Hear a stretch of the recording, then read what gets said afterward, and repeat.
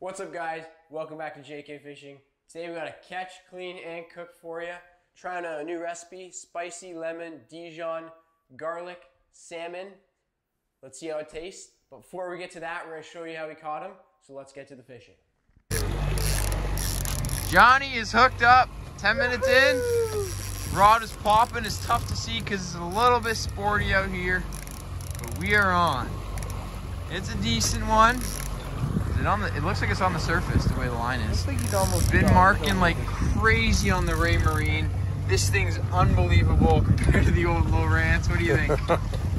I'd say yeah, it's a big difference. Night and day. rod feels lighter than the 4,500 rods we have down in Florida. yeah. So Well, this is a decent fish, Johnny. I mean, it is a pretty light rod we're using. I don't, I don't want to lose him. So Yeah, letting him yeah. Greg said like we're uh. He's smaller than you think, It's good. Good. Or just weaker than you think. Weaker than you think. But I mean, So that one's down to 35, so oh, oh wow. I mean, he's not bad size. I wouldn't not a bad fish. he's he's not too heavy. That's Look at that rod bend. I think that rod's a warped one. One of these uh, Cabela's rods, we've used it so much in the rigger, it just got warped. Now it bends a little bit, the one with. Ah, he is. Is this on the greasy chicken wing? Uh, no. Let's go to the front of the That's the stinger. That's that green and blue stinger. That, that's real That's nice. He's gonna come quickly. He's smaller. I can get him here. Normally you want to land him at the back of the boat, but um, You got battery for 10. he's a green, thing. Not bad size. Not bad fish. Oh, yeah. Oh, he's eating fish. Don't lose him. Don't lose him. You better not mess up the net job, Joe. Oh, I'm gonna try. I'm gonna try as hard as I can to mess up this. Does that remind you of that 30 pounder a couple years ago? Yeah, holy, he's got energy. He's not giving up. But once he gets in, he's dead. Almost as Benito in this side. side. The second you in the boat, they just stop. Yeah, the lactic acid, these fish fight till they're dead. Holy, look at those heads.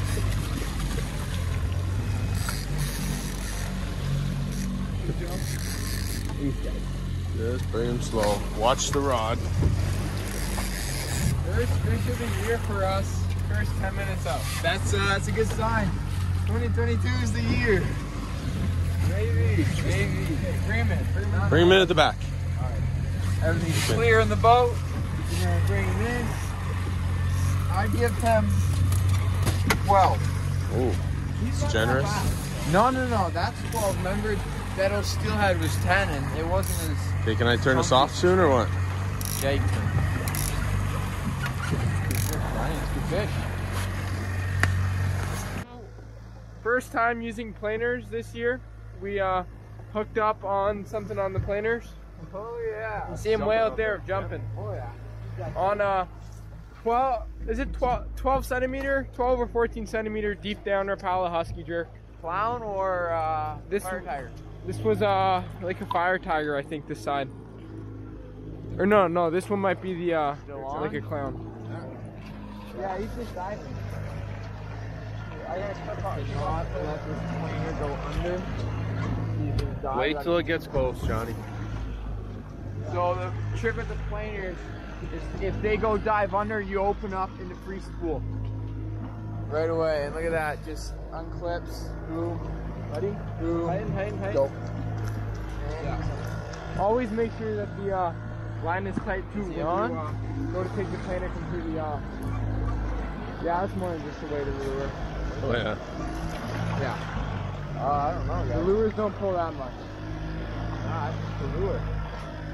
You, you lock? No, you got him. Oh, oh my Get the net, goodness. Johnny. Nah, I don't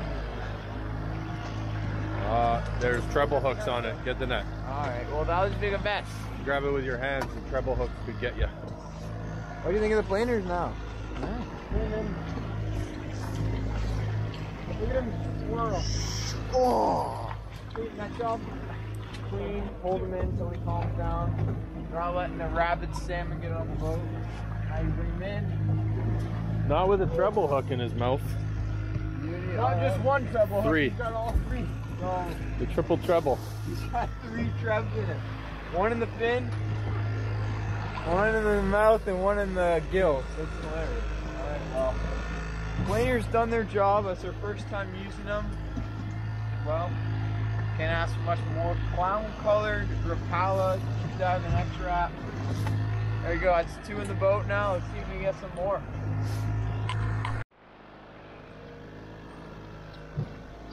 Holy, still alive. All right, guys. A little bit bloody here, but I'm gonna do some talking. So, this guy, we just got him on the planer, and these salmon, they're pretty incredible here in Lake Ontario because they are not supposed to be here. Look at, look how easy the scales come off. That's why we mostly keep them, sending them back. Really not a good chance they're gonna survive. And you know what? Young ones like this taste great. They're not that dangerous as long as you listen to the Ontario consumption guidelines for Lake Ontario. So, you know what? It's pretty nice. But like I said, these fish aren't supposed to be here. These are Pacific Chinook salmon. They are stocked into Lake Ontario by Canadian and U.S. Uh, MNR and Wildlife Conservation, right, Johnny? Yeah. and the numbers are watched very closely. It's honestly it's a science these fish. Bait populations, predator populations, predator prey relationships, controlling those populations. And I just want to give a big shout out because the people behind that, it really I really want to thank you because without you guys this wouldn't be possible. Lake Ontario wouldn't be able to be the amazing fishery it is and we wouldn't have this fish right here. It's beautiful, fine Lake Ontario salmon. So let's get on some more. Hooked up again, and it's your turn to fight the fish now.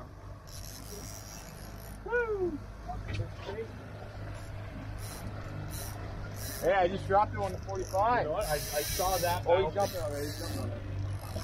Of course, you say he's jumping. I look, I see him jumping with my eyes, but Did it? Yeah. You did? John, eh? Yeah, jumping. Well, there goes no fish loss this you, Johnny. That meant it's pretty good. Wow, that was, uh... that's a- I saw this rod go. I couldn't see the other one. Yeah, I saw it. It was bouncing. Uh, yeah, I put the one deeper. Maybe it was sitting deeper as some sun came up or what? Okay, let's get this back out. Oh, bugs on. Yeah, it's a new spoon. You chose that one. Yeah. On the Dipsy. This took off with a screaming run. Joe's moving the planer rod so we can fight it off the back. Beauty. I don't know how big he is, but love getting him on the dipsy. So today we got two spoon hits, one planer, which is a flatline hit, stick bait. And then a spoon. Is it? No, I think this is the. Uh, Freedom Tackle Cut Bait Herring. no, no. Is it? This is the Flasher uh, green Fly? kingfisher with the. Flasher Fly. Fly, yes. Yeah. So everything's hitting right now. Still on?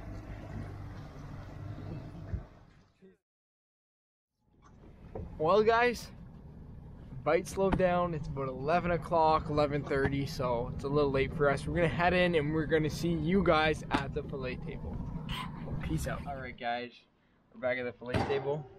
The weapon of choice today is the trusty Bubba Blade. This is a nine-inch Johnny. This is the big boy. It's the machete we call it. Anyways, it's over there.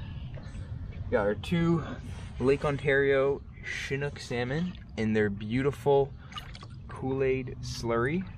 And this is lake water, but it's like 40 degrees, so it acts as ice and it works very well. These fish are nice and firm, cold, and yeah, I'm excited to play it. All right, we got our makeshift fillet table here. This is where we normally fillet our fish. Let me actually get them on my good side here for you. And I am just gonna dive right in. All right, we did not gut these ones. Normally we do, but let's see. My Uh, hands were too cold to gut them. I know a lot of people uh, like to swipe their salmon. Us. Like, you know, to get a lot of the meat. You lose quite a little bit, you know, if you just uh, swipe them.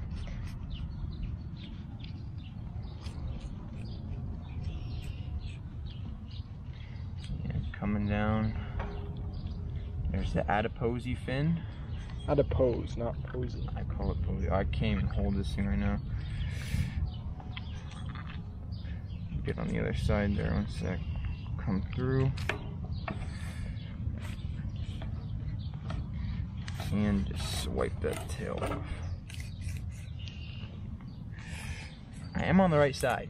And that's just how weak their flesh is, guys. Now we start coming down into the fish. Should have chosen a smaller knife. And you know what? No. So these salmon, Lake Ontario salmon, look how mushy that meat is. This thing was kept on like 40 degree water, basically ice, and its meat is just so mushy. It's just yeah, subpar fish. No What? excuses. But we're gonna find a way to cook them up very good for you, as we always do. There we go. See, once you get over that, it becomes real easy to fillet. Oh, And off. I tend to leave a little bit here because most of the time if you go too close, these these bones are very very weak, and you will go like this, right under them, and you'll be flying on the other side of the fish, and it's a mess. and it's a mess. So then it becomes a pretty pretty good fillet once you you know get that done. The ribs are easy to go up on salmon. I find they got they got a lot of. This guy was hungry. This guy was hungry. Look at that, eh? Yeah. But this knife very sharp. Don't need to apply much pressure to slice through. And like I said, we did not gut them. I find sometimes not gutting them makes it easier to fillet the fish. Especially if it's a larger fish, because then the rib cage isn't laying flat. Yeah. So there we go. Not a bad fillet. Um, We gotta skin this and cut out the pin bones. yeah. So we look at him slide off. He's All right, guys, we're in the kitchen now, and as promised, Joe is going to be doing the cooking today. I'm out of my natural habitat, but yeah. So we got our beautiful, and I say beautiful like that, beautiful Lake Ontario Chinook salmon, and we are going to be preparing. What's the recipe called, Johnny? Spicy lemon Dijon salmon with the main ingredient original Dijon mustard. Beauty. I know you guys love the catch and cooks, so if you guys are looking forward to this, I am as well. Let's dive in. so we need about three quarters of a ta- for this amount of salmon, three quarters of a tablespoon, right, Johnny? Yeah. Dijon mustard. Maybe a little more if you like it spicy. Yeah, Like it spicy, Joe? I, I like it spicy. Yeah. Look at that. That that's more than that's one tablespoon, and we are putting that in. Especially you have to account for the loss, right? Of uh, Dijon. What next? We got some lemon. Lemon. Yeah, take some a lemon. whole fresh lemon. And just squeeze out all the juice. Get it all out there, Joe. Oh yeah, mm, squeezing her.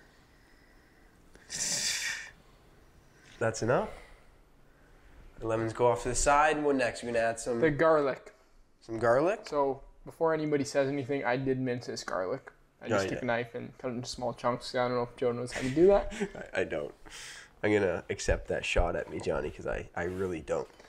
Garlic goes in. Um, we got what next? We're gonna put some pepper in. Yeah. Doesn't really matter the order. Not you don't have to put too much in. Yeah, about that much. Yeah, as much as you would like, Joe. Not Okay. too much. We already got enough spice with the Dijon. Some salt. I do like quite a little bit of salt. There we go. And paprika, parsley. Thought I knew that one, but You can be a little liberal with this one, Joe. Yeah. It's good. I think it's good. All right, now I got two spoons here. I got the mixing spoon. I got the applying spoon. We use the mixing spoon. Stir up our beautiful sauce here, and it does look good. It smells very good. I'm excited to try this. The texture is a little bit soupy. You can always add a little more Dijon. Mm-hmm. What do you say, more Dijon or what? Maybe a little bit more, but looking pretty good. Yeah. All right, I'm just gonna keep it like that. I ain't Yeah. getting too complicated here. So now we're just gonna put it on the salmon. We're gonna put the salmon in first, Johnny, and then put it on, or what? I mean, unless you're gonna cook them on the plate. Why do you even have them on the plate to begin with? Then I'm not next level chef thinking like you, Johnny. All right, so we're gonna put the salmon in. Both sides or just one? So one, I think, is all that's necessary. Can get the spoon under there.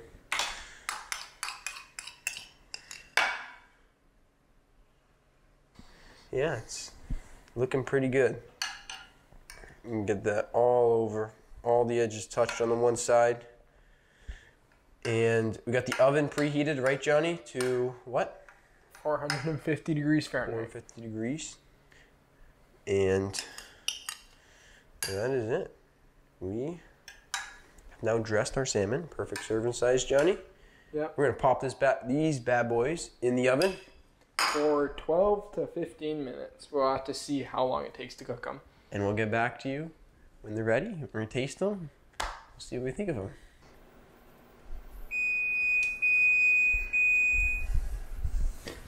She's done, baby. Make sure she looks cooked. Johnny, what do you? Think She looks cooked. I think that it should be good. You think it should be good? One way to find out, to break open a piece. Sure. Alright. We'll keep the oven on just in case, but I think it looks good. Come over here. Give me a fork, Johnny. Break open the thickest piece.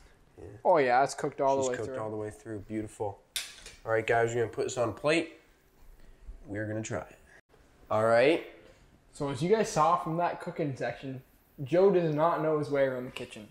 So I'm gonna try this and see if I can stomach it.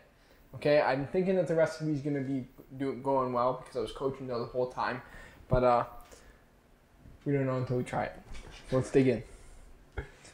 Salmon is uh, a little cold right now because Joe had to film an intro with it. That's all I'm gonna say.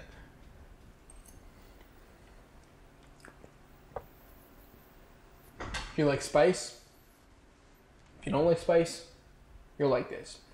Not really spicy at all. I am a little bit shocked considering how spicy the Dijon was.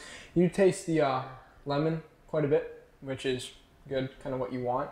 And uh, overall, the salmon did stay really moist in the middle, which is a problem with salmon.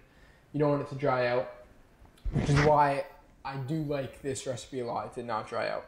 Meanwhile, when you're cooking it on the barbecue, you usually have to cook it longer, so the salmon has a tendency to dry out in the middle, which is why we chose to bake it today. But overall, I'd say that this is a pretty good recipe. You taste the garlic a little bit too, and uh, has my uh, thumbs up. survived. Joe survived. Yeah, Joe can uh, cook if he's given instructions. If I told Joe to do this by himself, I don't know, but I didn't. I told him myself. So. Anyways, guys, hope you enjoyed the video. Make sure to hit that thumbs up button, subscribe, and we'll see you next time on JK Fishing.